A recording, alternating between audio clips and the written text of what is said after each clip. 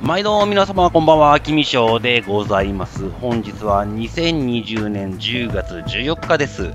ずず離れ屋さんは今週末10月18日日曜日をもって一旦閉店。その後2週間ほど移転期間を空けまして、東武新鹿沼駅付近鳥居戸町にて新装開店予定となってます。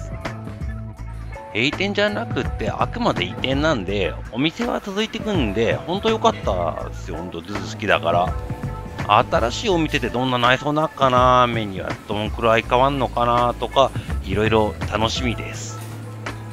で楽しみは楽しみとしてやっぱ今まであったものがなくなっちゃうっていうのはどうしたってちょっと寂しいもんですよ。でせめてビデオ残させてもらえないかなどうかなって声かけさせてもらったらいいっすよっつって快諾してもらいました。思い出残せますねこれでね。ありがたいことです。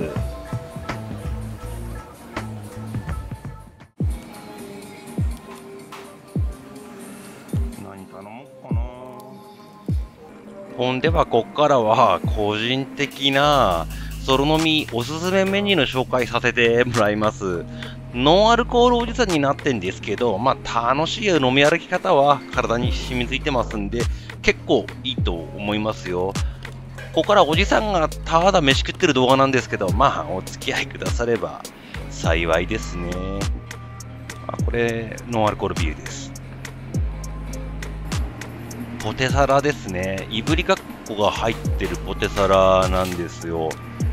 飲み屋のスピードメニューとして定番のポテサラですけど、ここのは燻香とパリカリ食感がね、いいアクセントになってて好きです。ビール、ハイボール、もちろん日本酒もいいですよね。はい、あのいつかもちょいちょいね。この豆腐うまいですよ。ねっとり濃厚。たまりっぽい甘い醤油とよく合います。これ頼むか、代替案としては、だし巻き卵あたりがちょうどいい感じかな。このように半笑いになります。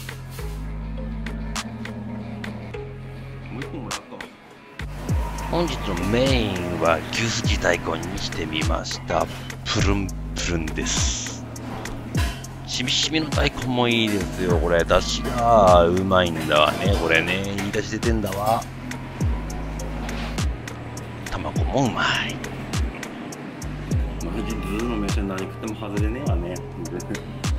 メインのつまみは唐揚げ持ってきてもいいですね。タレがかかってるタイプです。最高にうまいです。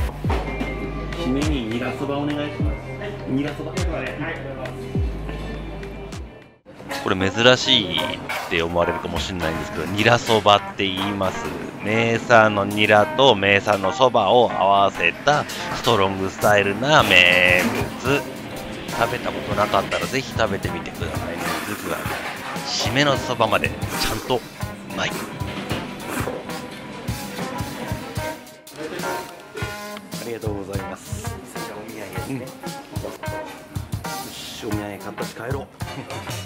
どうも、ごちそうさまでした。はい、頑張ってお願いします。ごちそうさまです。